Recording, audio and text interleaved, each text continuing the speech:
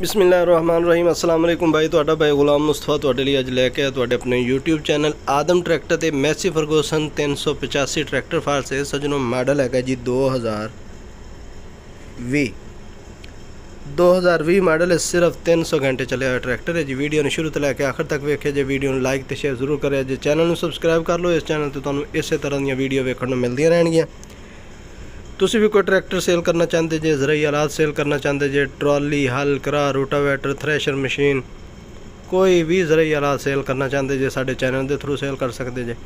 ਮੇਰਾ WhatsApp number video ਦੀ screen ਤੇ ਆ ਰਿਹਾ, ਇਸ ਤੇ 8-10 ਤਸਵੀਰਾਂ ਮੋਬਾਈਲ ਨੂੰ ਟੇਢੇ ਰੋ ਕਰਕੇ ਬਣਾ ਕੇ ਮੈਨੂੰ WhatsApp ਕਰੋ। ਤੁਹਾਡੀ ਵੀਡੀਓ ਬਣਾ ਕੇ ਚੈਨਲ ਤੇ ਲਗਾ ਦਿੱਤੀ ਜਾਏਗੀ।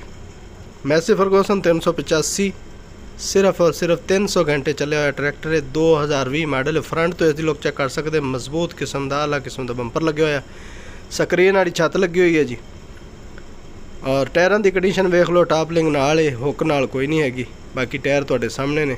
ਬੈਕ ਸਾਈਡ ਤੋਂ ਇਸ ਦੀ ਲੋਕ ਚੈੱਕ ਕਰ ਸਕਦੇ, ਜੇ ਟੂਪਾ ਵਗੈਰਾ ਹਰ ਚੀਜ਼ ਵੇਖ ਲਓ। ਜ਼ਿਮੀਂਦਾਰ ਦੇ ਘਰ ਖੜਾ ਟਰੈਕਟਰ। ਇਹ ਛੱਤ ਵਗੈਰਾ ਵੇਖ ਲਓ ਜੀ, ਮਰਗਾਡਾ ਨੂੰ ਸਪੋਰਟਾਂ ਲੱਗੀਆਂ ਹੋਈਆਂ ਨੇ। ਕੈਸ਼ ਦੇ ਖੁੱਲੇ ਵਰਕੇ ਨੇ ਜੀ, ਮਾਲਕ ਇਸ ਦੀ ਡਿਮਾਂਡ ਕਰਦੇ ਨੇ 21 ਲੱਖ ਰੁਪਇਆ 21 ਲੱਖ ਰੁਪਇਆ ਇਸ ਦੀ ਡਿਮਾਂਡ ਕਰਦੇ ਨੇ। ਛੱਤ ਬੰਪਰ ਸਟਿਆਂ ਟਾਪ ਲਿੰਕ ਨਾਲ ਏ। ਬਾਕੀ ਕੰਡੀਸ਼ਨ ਤੁਹਾਡੇ ਸਾਹਮਣੇ। 21 ਲੱਖ ਰੁਪਏ ਡਿਮਾਂਡ ਹੈ ਸਿਰਫ 300 ਘੰਟੇ ਚੱਲਿਆ ਹੋਇਆ 2020 ਮਾਡਲ ਹੈ ਲੋਕੇਸ਼ਨ ਇਸ ਦੀ ਹੈਗੀ ਹੈ ਜੀ ਸੌਕਾ ਤਹਿਸੀਲ ਚਿਸ਼ਤੀਆਂ।